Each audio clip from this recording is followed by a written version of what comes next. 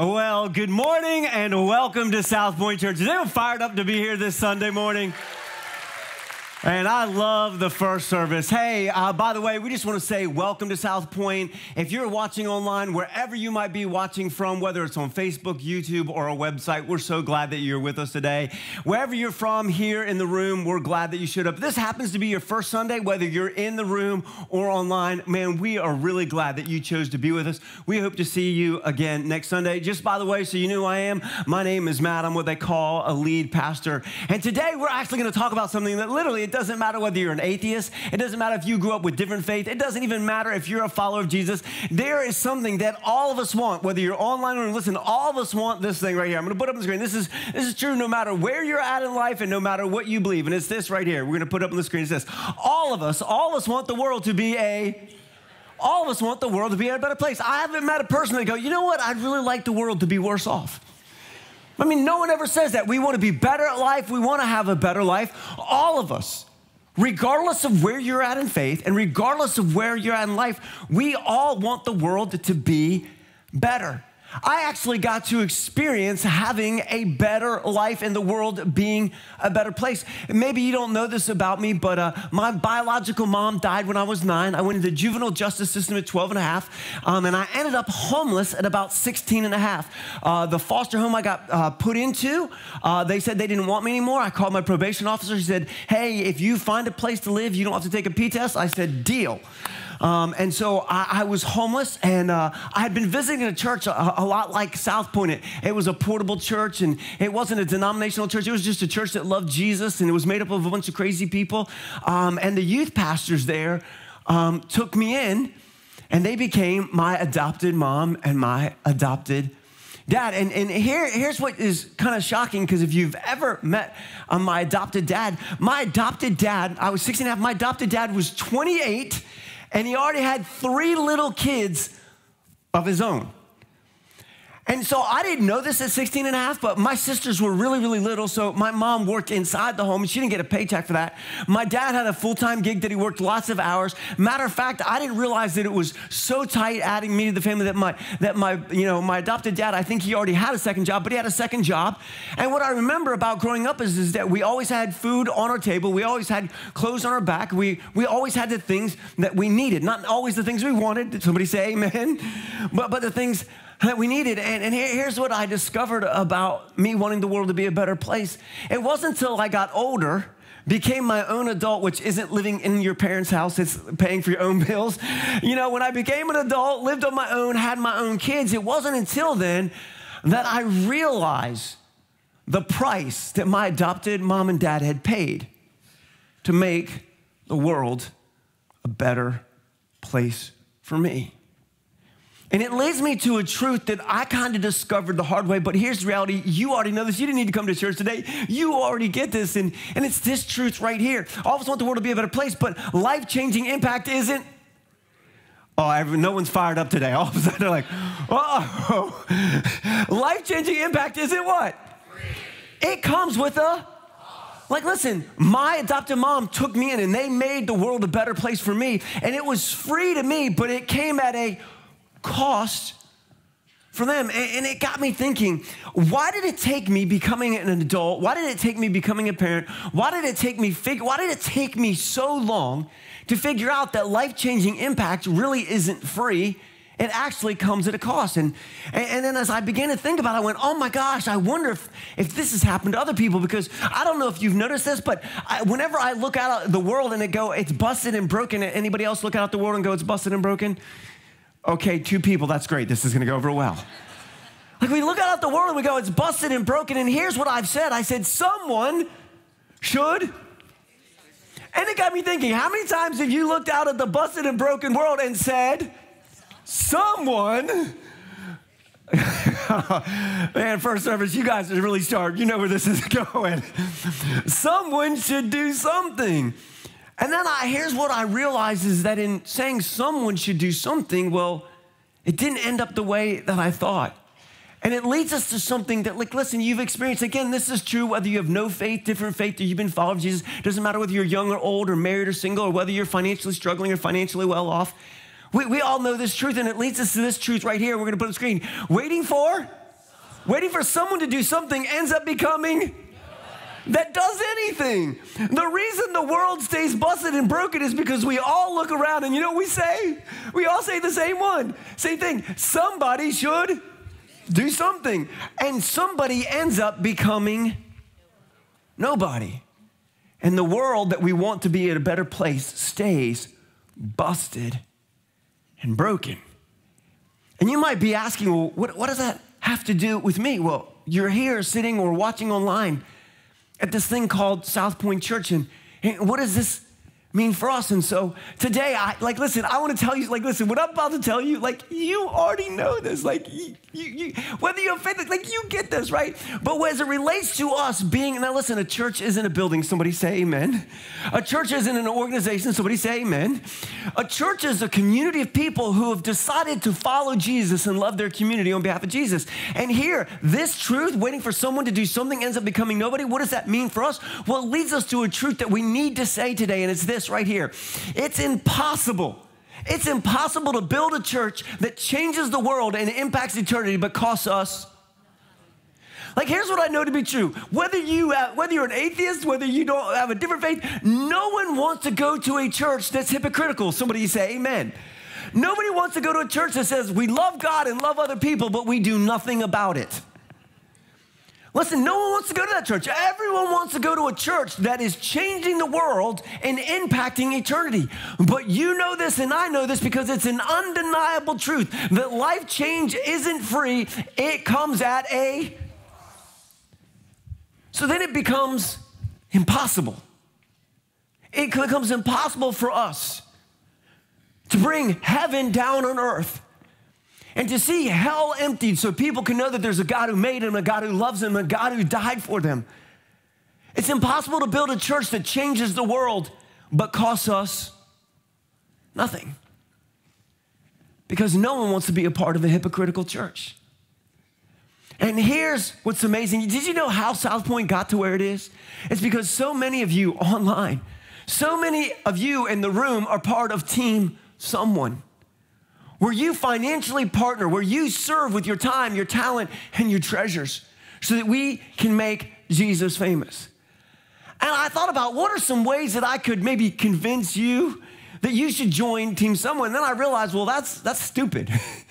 I, I, shouldn't do that. Maybe what I should do is have people that are on Team Someone, matter of fact, tell you why they joined Team Someone. So a couple weeks ago, we got a group of people who financially partner with us and who sacrificially give and talked about what it looks like to be a part of Team Someone. So if you'll give your attention to the screens, let's hear from them.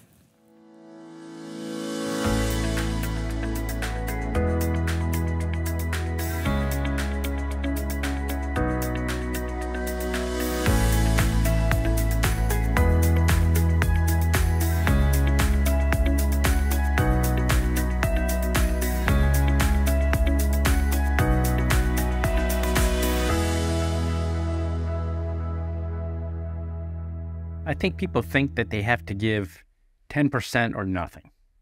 You know, it's either it's either one or zero. And, and I think it's more like you just start giving, you go, well, that didn't hurt. And then you give some more and you go, that didn't hurt. But it's not about whether it hurts you or not. I think, and I really believe at South Point, we get to see the differences. Something else, you often look at all the people in our church and you think, well, if everyone else is giving, then I should have to give. And they don't need my couple dollars. But the reality is, if we all do our part, when we all do our part, then we see movement, we see change. I know for me, it was just having a scarcity mindset and feeling like I worked so hard for this money that I need to just hold on to it so tightly.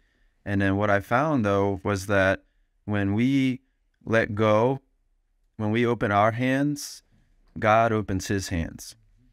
We trusted that what you said you were doing was going to be done. And so when you see the the impact in the community, it makes me want to give more because I want to see more done for the kingdom.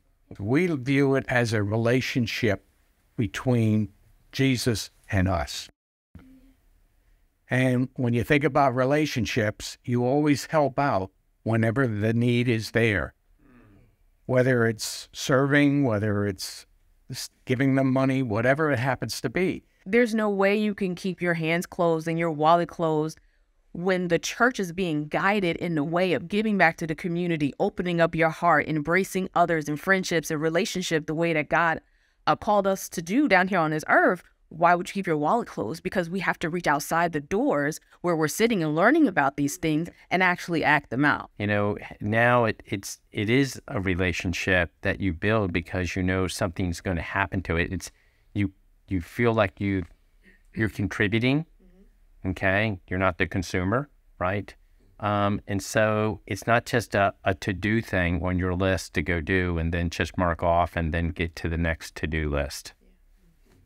We maximize our our money for the community for for doing mission and and put aside kind of our own needs and I, I think that that's just a really amazing thing and you and you see it at work in the community When you demonstrate the love of Jesus by giving them something or doing something for them, not expecting anything back.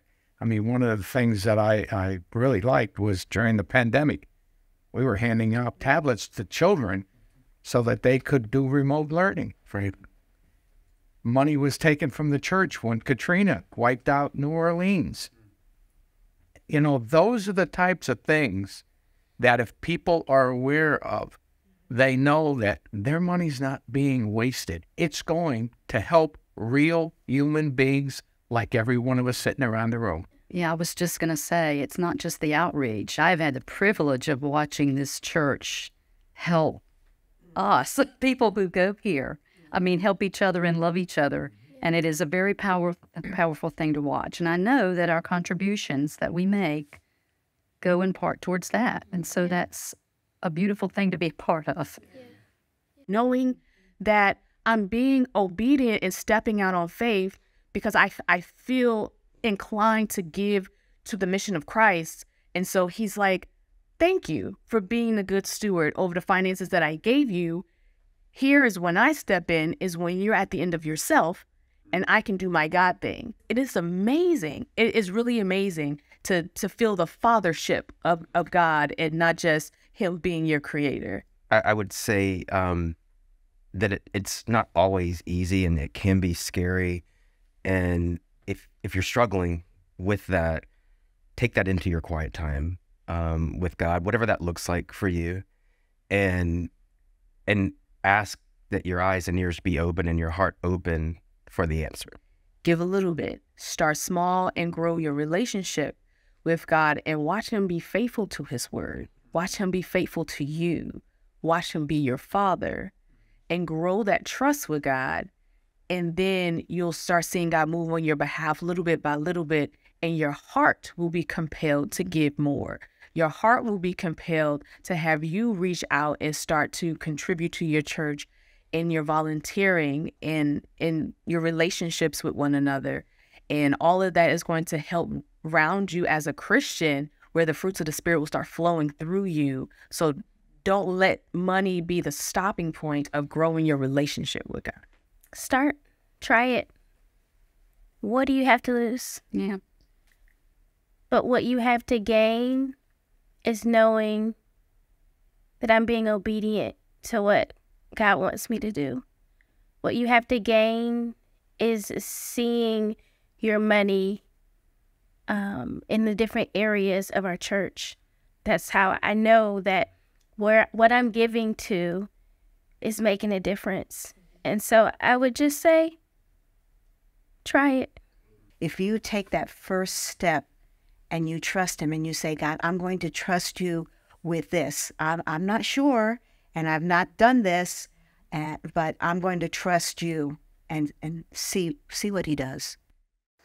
I think uh, I heard a common theme uh, throughout the evening, but uh, Jesus uh, in Matthew says, uh, Be careful because your heart is tied to whatever you give yourself to. Um, and I think what, what, what I heard say is if you could tell someone is this, if you, if you tie yourself to Jesus and, and, you, and, you, and you take that step of faith, you'll realize that your heart is connected to what you put first in, in your life. And, if you put Him first, it deepens that relationship. And and at the end, I think you know, uh, our hope and our prayer is, is that we would make Jesus famous, and that people would have a real relationship with Him, and uh, that real relationship would transform the way they live and the way they, they experience life. And it's more than just getting to a place; it's getting a place, heaven inside of us.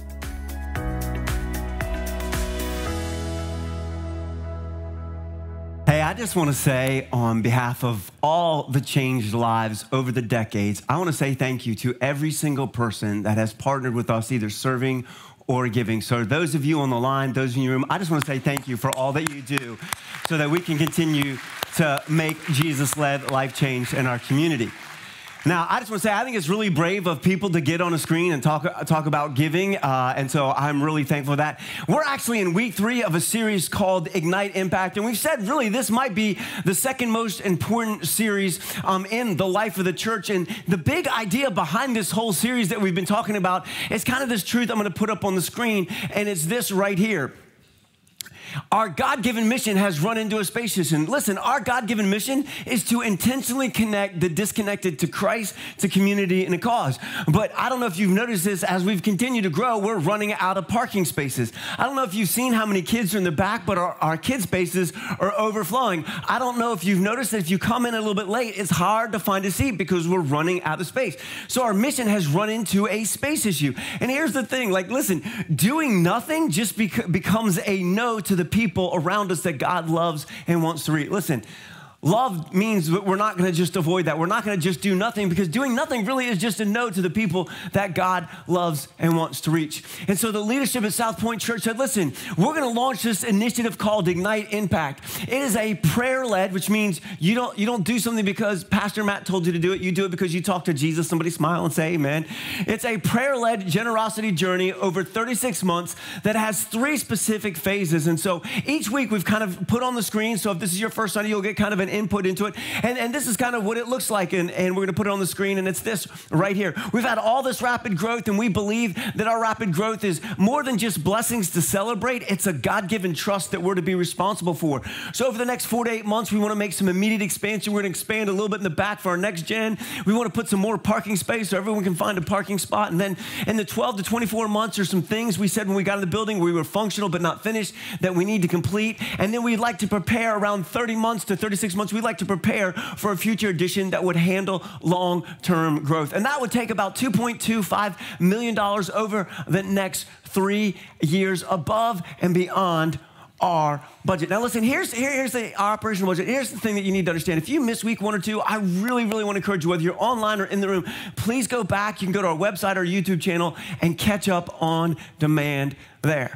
Which kind of leads us back to now that we've kind of brought everyone up to speed is, is what we, the problem that we started with, and, and this is the problem that we started with, and we're gonna put on the screen, is, is listen, no one wants to be a part of a hypocritical church.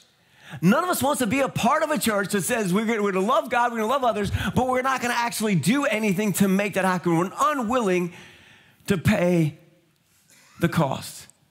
And what I love is that this call to be on team someone is we see demonstrated in such a graphic way from one of the, the most unlikely. I mean, this, this guy was one of the most unlikely disciples that there were. And we see this in the eyewitness account. We, we see this recorded through all history in the Gospel of Luke. And, and we're going to put it up on the screen. It's, it's Luke. We're going to put it up here. And it's Luke 5. And it says this After this, Jesus went out and saw a tax collector named Levi sitting at a tax booth.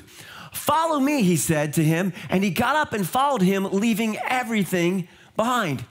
Now, in those three sentences, you and I, in our modern history, we don't see the impact. We don't see the life. We don't see the impact of this because when I say tax collector, you think of an IRS agent, right? You think of an IRS agent, just, you know, somebody you don't like, but just a decent person doing their job. Listen, in those days when it says Jesus went out and saw a, you need to put in Nazi collaborator. That is the emotion and the visceral. You have to understand the nation of Israel had been conquered, raped, and pillaged by the foreign army, the Roman army. And if you were a tax collector, you collaborated with the enemy to pay for their army to continue to conquer you, and you got wealthy by robbing your own people. You were the worst of the worst. Now, Jesus was considered a rabbi. And so you have to understand in Jewish culture, the greatest thing that you could ever become was a rabbi. And the second best thing that you could ever do was be called by a rabbi to follow them. So we don't know what happened to Levi that he would become a collaborator, that he would rob from his own people and support the armies that had raped and pillaged his home. But whatever it led to, he was what was wrong. And then Jesus showed up to make the world a better place, to bring the kingdom up there, down here. And can you imagine this collaborator's awe, shock, uh, shock and awe when Jesus calls him? He leaves everything. You mean I get to follow a rabbi? And everyone's amazed at this. Jesus made the world a better place with his encounter with Levi. But that's not the end. We see how Levi is changed because Jesus made his life better. By the way, it was going to cost Jesus something to make Levi's life better. Matter of fact, it cost Jesus his reputation. He was called a friend of sinners. Aren't you glad? You hang out with those wine bibbers and tax collectors. Aren't you glad? And it would eventually cost him his life because of all the sin and all the mistakes that Levi had made. Jesus was going to pay that penalty on the cross. And he wouldn't stay dead on a cross or dead in a tomb, but the tomb was empty on the third day. So what was free to Levi would cost Jesus something. But, but what happened to Levi? Like, what, what happened to his life? What, what was this transformation? We see Levi. The next verse we see this is so cool. Look at this. It says, Then Levi gave a, what's the word? Not a lame. Notice it doesn't say Levi gave a lame banquet for Jesus. Now I'm going to stop here. I'm going to preach and I'm going to offend some people. Because here's what I understand Nike will spend billions of dollars so that you'll spend money with them. Apple will spend billions of dollars to get you to spend your money with them. But when it comes to the church, we'll complain that we spend money to reach people with the only thing that will give them life. Notice that Levi didn't throw a lame banquet, he threw a he threw a great banquet in his house for. Did you notice the connection? The greatness was tied to Jesus. He did this not because of his friends to make them impressed. He didn't do this to earn his way to heaven. He didn't do this. He did this for Jesus. He saw how great Jesus was and he wanted to honor Jesus. Then Levi gave a great banquet in his house for Jesus, and there was a large crowd of collaborators and others sitting at the table. You know, the only people that would hang out with the collaborators were, were the wild and crazy. I mean, think of like whatever happens in Vegas, you actually take home with you. All those things. Think about it. Levi's life had become better because of Jesus. And so, what did he do? Well, he wanted to make the world a better place. And so, he was willing to pay the cost to have this great banquet so that his friends could see that there's a God who sees them, that they could see that Jesus saw them. And as much as he did it for them, he did it to honor Jesus. And it got me thinking. I want you to picture this. Do you think this banquet was the worst day of his life or one of the best days of his life? I mean, think about it. This guy had been robbing his own people, so worried about himself, so corrupted that all he could do was steal. And in a moment, Jesus came and changed his life. And I bet as the banquet was happening, he saw his friends having fun, and he saw Jesus meeting them and them getting to meet Jesus. I bet he said, I can't believe I get to be with the rabbi. Do you think that he was over in the corner going, I hope I didn't spend too much? I hope, oh, I hope they don't eat the best sheep. I hope they stopped eating or drinking. It was probably one of the most joyful days of his life that he could do something to make Jesus famous to his friends. He knew that life change, significant life change, wasn't free. Someone had to pay for that meal and that space. Someone had to pay for the banquet to be great for them to see Jesus. And what I love is I bet Levi wasn't sad or mad. I bet it gave him great joy to have the privilege for his friends to see Jesus in such a great way. You know, Levi actually saw Jesus model this. And not only did Jesus model sacrifice, matter of fact, Jesus says that's what it means to follow him. We see it in his own words. We see it in the Gospel of Mark 10 45. We see it here. It says this For even the Son of Man did not come to be served, but to, and to. Listen, I, I just got some news for y'all. This is be, gonna be so good. You're gonna be so glad you came today. No, you're not. See, I think oftentimes we come to church and we hope we get power, privilege, and prestige. And I want you to know followers of Jesus aren't in the power, privilege, and prestige business. Because you know what followers do? Followers follow. Jesus came to serve and to sacrifice. Now, here comes the news that you've probably never ever heard a preacher say, like, you should get fired up. Like, you've never heard this in a church. Did you know that the scripture actually tells you that you shouldn't give or serve under certain circumstances? So if you're here today going, oh, I hate it, I showed up on the wrong Sunday, listen, I got good news. You're going to hear something for the first time ever in church that you shouldn't give or serve under these circumstances. Like, I'm going to tell you to don't do that. Like, are you fired up, right? I mean, we see this in, the Corinthians. The Apostle Paul, like he used to kill Christians until he encountered a risen Jesus. And there's a church in the city of Corinth that it was a lot like us. It was made up of different ethnicities, different ages, people who had no church, people who had come from pagan backgrounds, but they were all trying to follow Jesus, right? And he writes this to them in Corinthians, and here's what it says. We're going to put it on the screen.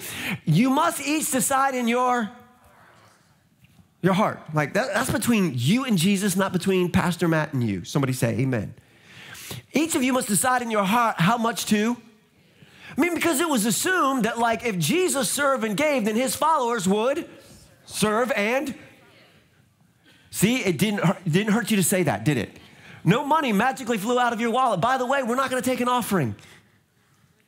You're good. How much to give? And don't give. Do you read it? And what does it say? And don't give Good news. If you're online and you're in the room and you feel reluctant, then God is saying, don't, don't do that.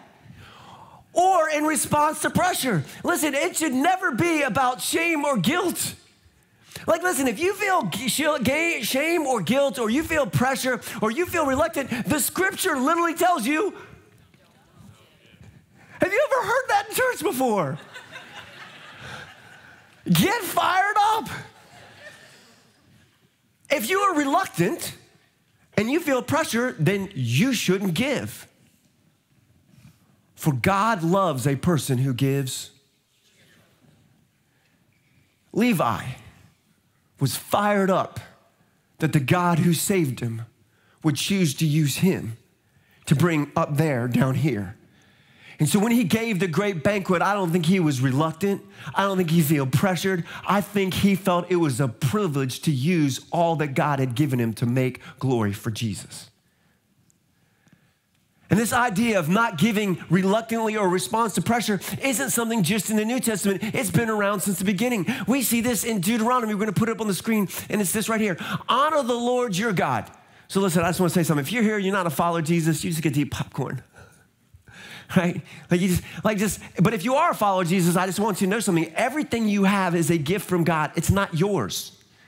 It belongs to Him. And someday we're all going to stand before God and we're going to give account for the resources that we used. Aren't you glad you came today? Honor the Lord your God bring Him a. If you feel pressured or you feel reluctant, don't give. You just heard in church. You're allowed to repeat it back. Don't give because it's supposed to be. It's supposed to be a response to God's goodness and grace. In it's not asking you to give what you don't have. It's saying in proportion to what you do have to the blessings you have received from Him. so, what does it look like for you, for I? If we're followers of Jesus, if we're followers of Jesus, well, what does that practically look like for us to make the world a better place? And really, we just see from that passage and we see from scriptures, there's, there's three things that God teaches you and I. And, and we're gonna put them on the screen. They're, they're so, like, listen, they're not rocket science. They're just so simple and just easy. Ready?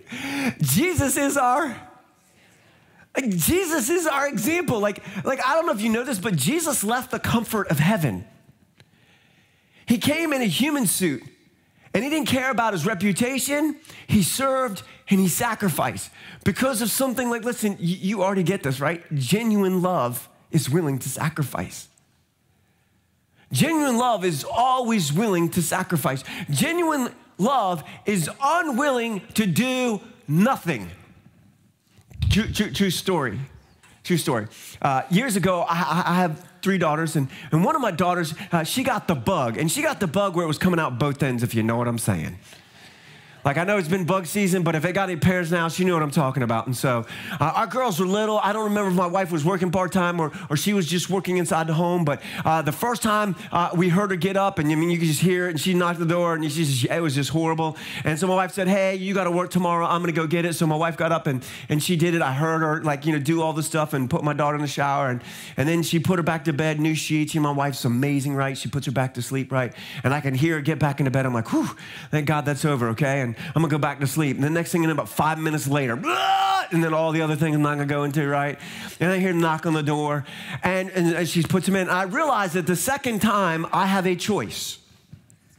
Dads, I'm just trying to help us out right now. I had a choice in this moment. I could either say I love my wife or I could show her that I loved her. Because love is unwilling to do and so I got up and I helped clean up, throw up, and poop because I didn't want my wife to do it all by herself. Because I love my daughter and I love my wife.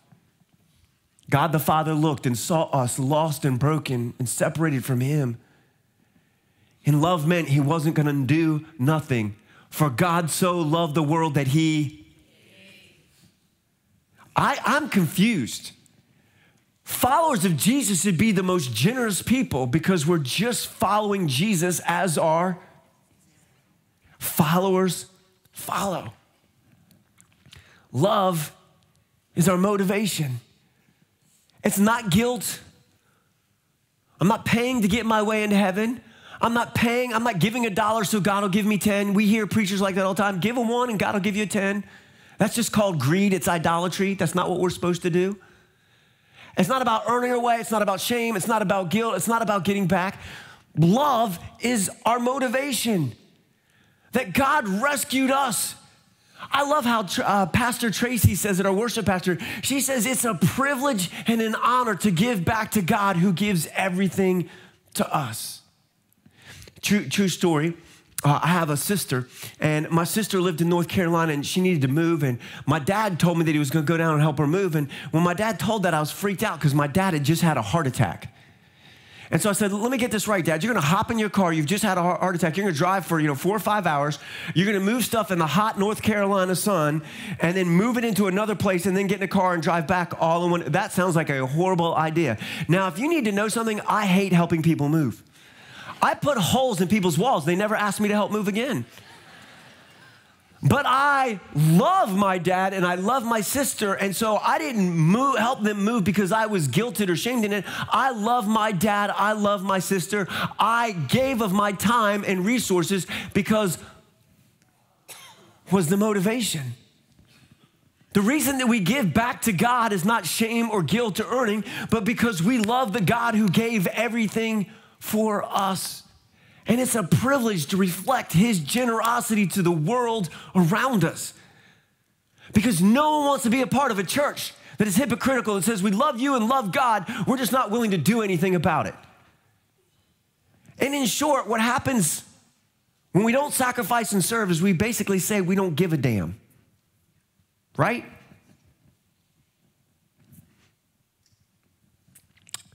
Ability is our indicator. What I love about South Point Church is we're made up of all kinds of people from all different kinds of background. We're really diverse. So excited, and thank you for being a part. We have some people here making minimum wage, barely scraping through life. We have some people here. We're the 15th wealthiest county in the country.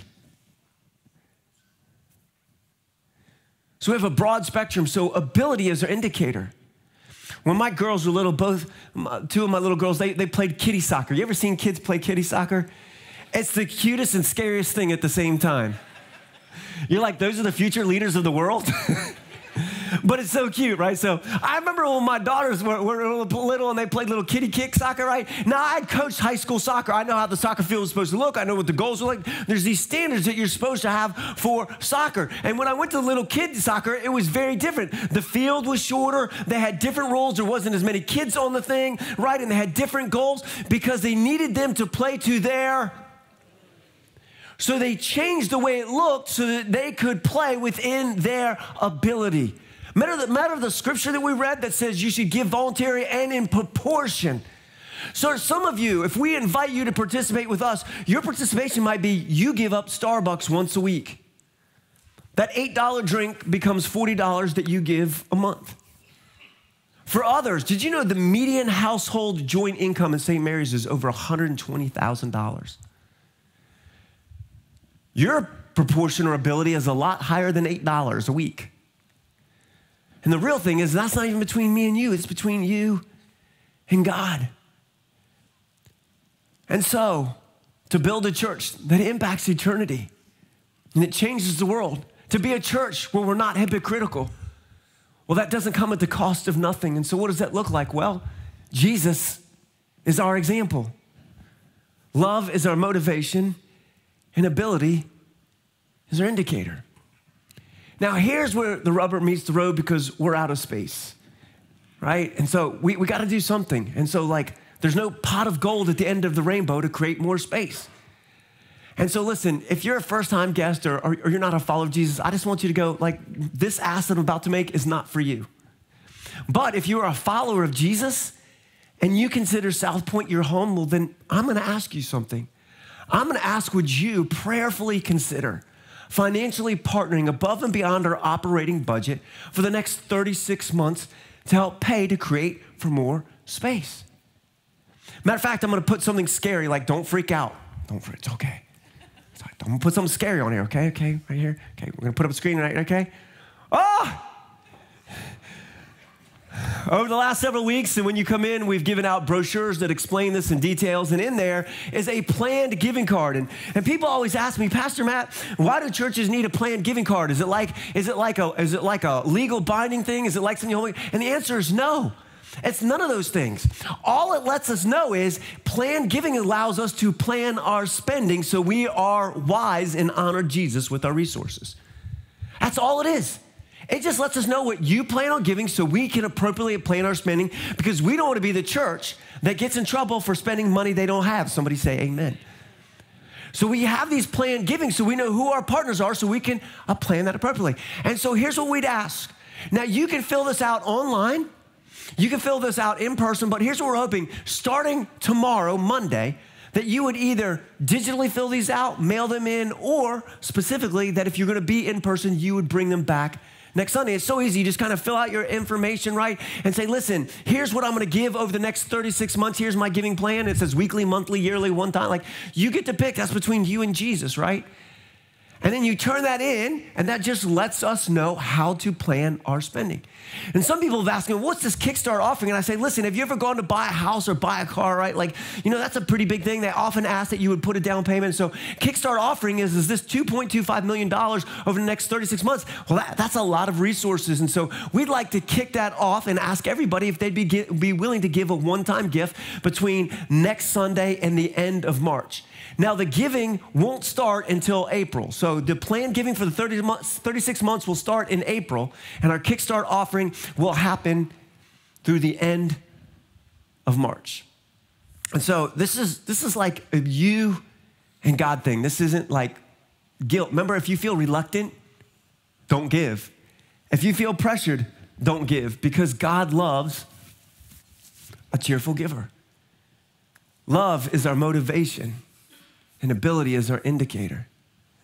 Which leads us to sum something up, and, it's this right here. I'm going to put it on the screen. Jesus followers are called to be a part of team. Now, for you, that may be with a different organization. For you, it may be with a different church. For you, it may be somewhere else. I don't know where God is calling you. But all I can ask is that you would prayerfully consider what God is asking you to do to partner with us because of something that we said, it was so obvious. Creating and building a church that impacts eternity and changes the world can't be built for nothing. That's impossible. I want to close with a, with a true story. Happened literally just like last week. So I've been going to the same gym for about a day, for longer than a decade, man. Like it's, it's changed owners so many times, I, I can't remember, right? But like I've been going to the same gym, and I don't know if you've ever noticed this. You have what you call gym friends. Anybody ever got gym friends? You see them in the gym, you know their name, you wave at them, you talk to them, but you never see them outside the gym. Every once in a while, your gym friend will become a friend that you know that actually becomes a friend outside the gym. But like there's the same squad. So this was a gym friend. We don't hang outside the gym, but I was working out, and you know, every once in a while they'll spot me, and I'll spot him. And so he comes over to me, he goes, Matt. I go, what? He's like, dude. Like my girlfriend and I, we started watching your series online. I was like, oh, that's pretty, like, shock. Like, I was just, you know, cool. Try not to ruin it because when people know you're a pastor, they treat you really differently, right? So I was just glad he was talking to me, you know?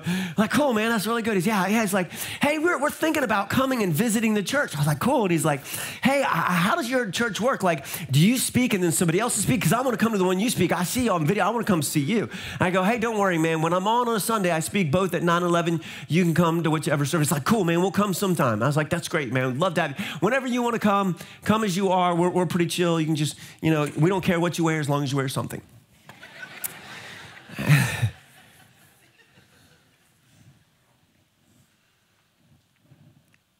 what happens when someone like him, who's giving God, Jesus, and church one last chance, and there's no parking spaces, there's no spaces for their kids, and there's no spaces in the auditorium. And I don't know about you, but I'm unwilling to do nothing about that. I believe the life change that God has given us has come directly from Him, and we're to be responsible for that. South Point stands at a crossroads where we're going to choose the comfort of success. Hey, man, it's good for me. There's a space for me, there's a chair for me, my kids got it. Or we're going to choose the call to sacrifice to make it good for others. And here's what I love is that God isn't finished. South Point's best days are not behind us, but they're in front of us. And that I believe that we're a community that will continue to make Jesus famous in our community. Would you stand? In a moment, after the worship team leads us in a song, we're going to have an opportunity to take communion. And I don't know if you know this, but communion is for Jesus followers, and it's a reminder of the price and the sacrifice. And if you didn't get this when you came in, there's ushers. If you raised a hand, they'll make sure that you get it. But if you would hold on to this, and after the worship song, we're going to take this together. Let me pray. Hey, God, thank you that love motivated you to do something. That you saw that we were busted and broken and that what's wrong on the outside starts with what's wrong on the inside. And you sent your one and only son who lived a perfect life, who willingly went to a cross and paid our penalty and was buried in a borrowed tomb. But on the third day, he conquered hell and death. You paid the price so we could be set free, and whom the Son set free is free indeed. God, may love and joy fill our hearts to make you famous in our communities. Thank you that what's free to us cost you everything. Help us to follow Jesus' example. This is our hope and our prayer. In Jesus' name, and all who agreed said, Amen.